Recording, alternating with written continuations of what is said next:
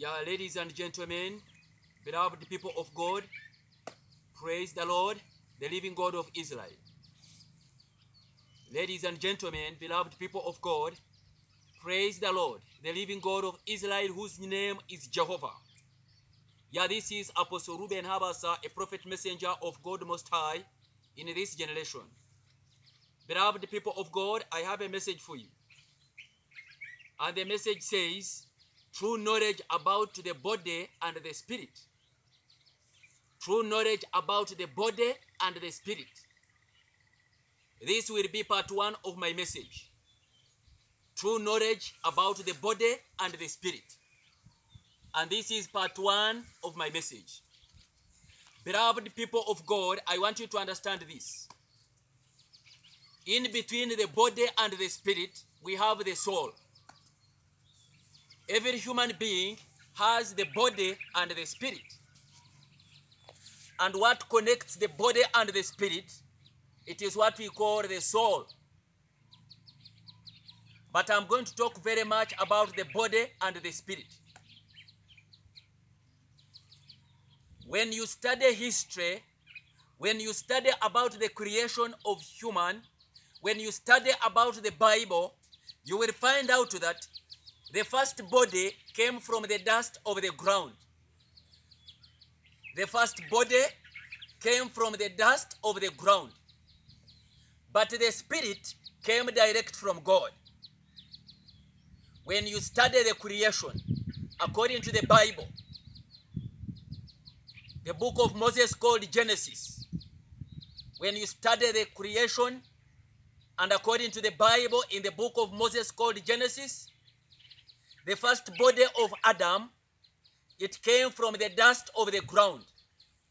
And the spirit came from God. Beloved people of God, I want you to understand this. God is spirit.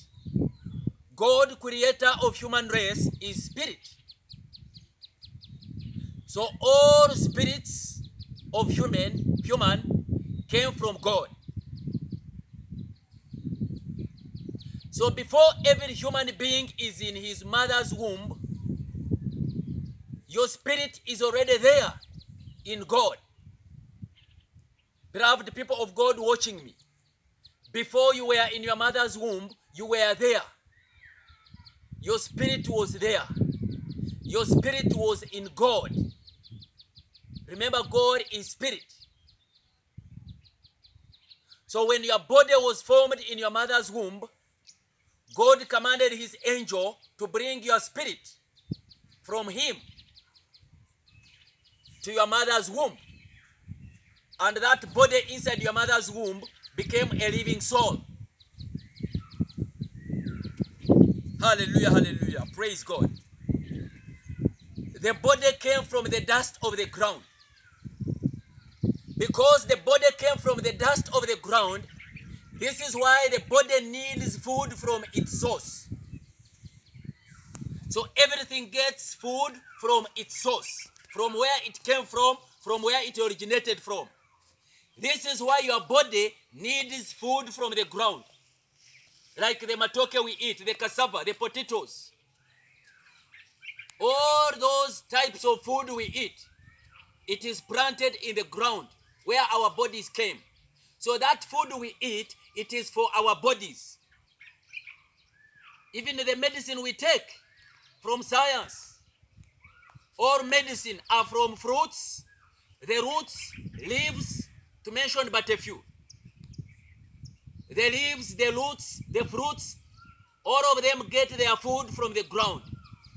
So whenever we are taking medicine, whenever we are taking medication, we are taking it for our body.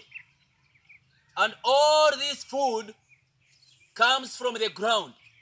And because the body came from the ground, this body needs that food to survive. So the source of the body, it is the ground.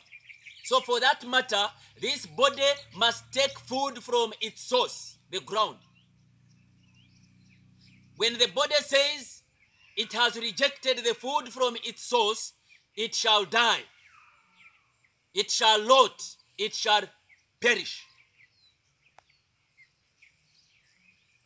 Beloved people of God watching me, I want you to understand this. The body shall never go to heaven, the body shall never go to hell. All what you dream are just, or what you think are just dreams. Or it is false knowledge you received from religious systems. But your body, your body shall never go to heaven, your body shall never go to hell. The body came from the ground and it returns to the ground and lots. The heaven and the hair of the body is found here on this earth. The heaven and the hair of the body is found here on this earth. Even on the last day, those who shall be chosen to inherit the kingdom of heaven, they shall be given new bodies of heaven. But those earthly bodies shall never go to heaven, shall never go to hell. Hallelujah, hallelujah. Beloved people of God, I want you to understand this. Your spirit came from God. And before you were in your mother's womb, you were there. Your spirit was there. And when your body was formed in your mother's womb, God commanded his angel to bring your spirit inside your mother's womb, and you became a living soul.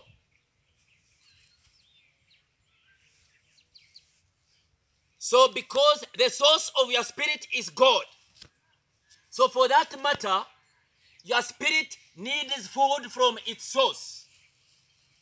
You need spiritual food. Your spirit came from God. God is the source of your spirit. So, for that matter, your spirit needs spiritual food. What I preach and teach, it is the living word of God. What I preach and teach, it is God Himself. What I preach and teach, it gives you the spiritual food, and this benefits your spirit. And when you hear what I preach and teach and believe, you receive a new spirit. Your spirit becomes born again. That is the second birth. Your spirit receives the first resurrection. And all those who receive the first resurrection, the second death has no power over them. That says the Lord. Hallelujah, hallelujah. So, beloved people of God, your spirit needs the spiritual food, and this is what I preach and teach. I, Reuben Habaasa, a servant of God Most High. According to Genesis chapter 1, Genesis chapter 1, Genesis chapter 1, verse 26, it says, And God said, Let us make man in our image, after our likeness, and let them have dominion over the fish of the sea, and over the fowl of the air, and over the cattle, and over all the earth, and over every living creeping thing that creepeth upon the earth. Listen, why did God say, Let us make man in our own image? He never said, In my own image. Why? Remember, God is spirit. So all human beings were in God. Moses was in God. Elijah was in God. I, Reuben, I was in God. Even you watching me, you were in God as spirit. Before you were in your mother's womb, you were in God as spirit. This is why God said, Let us create man in our own image. So the breath that is within you, the spirit that is within you, is in the image of God. Remember, God is spirit. Religious system will confuse you and give you false message, false knowledge, telling you that God was talking about that God the Father, God the Son, and God the Holy Spirit. That is falsehood. There is only one God, creator of heaven and earth, whose name is Jehovah. Otherwise, I'm also God. The Bible clearly says we are gods. But this does not mean that we have received God the Father, God the Son, God the Holy Spirit. The Bible does not mention a such thing. It just originated from Roman Catholics. What the Bible says, it says in the name of the Father, the Son, and the Holy Spirit. It does not say God, the Father, God the Son, God the Holy Spirit. God is one, God is Spirit. His name is Jehovah. I'm talking about God, the creator of everything. Otherwise, as children of God, we are like God, we are gods. But God, our creator, is one. Hallelujah. So God saying that let us create man in our own image. He never said in my own image, but he said in our own image. This indicates that all human race we were in God. Because God is spirit. So your spirit was in God. My spirit was in God. Adam was in God. Elijah was in God. Moses was in God. Abraham, Isaac, even Jesus of Nazareth, Apostle Peter, they were in God. This is why he said, Let us create man in our own image. According to Genesis chapter 2, verse 7, the Bible says, And the Lord God formed man of the dust of the ground, and breathed unto his nostrils the breath of life, and man became a living soul.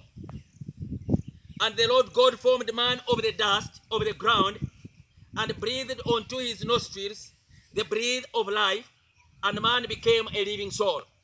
Here, man, God is talking about the body. The body was created and formed from the dust of the soul. But the breath, the spirit, came direct from God.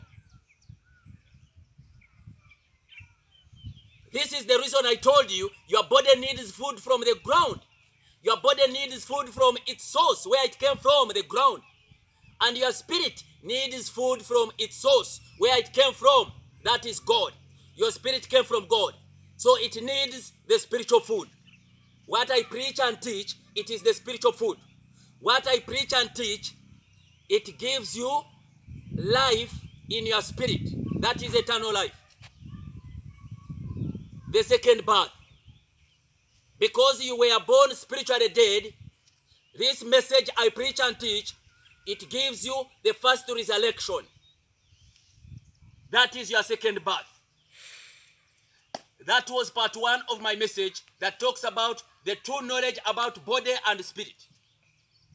Part one of my message that talks about the body and the spirit. I remain Apostle Reuben Habaasa, a prophet messenger of God Most High in this generation. My WhatsApp number is plus 256 7566 3573.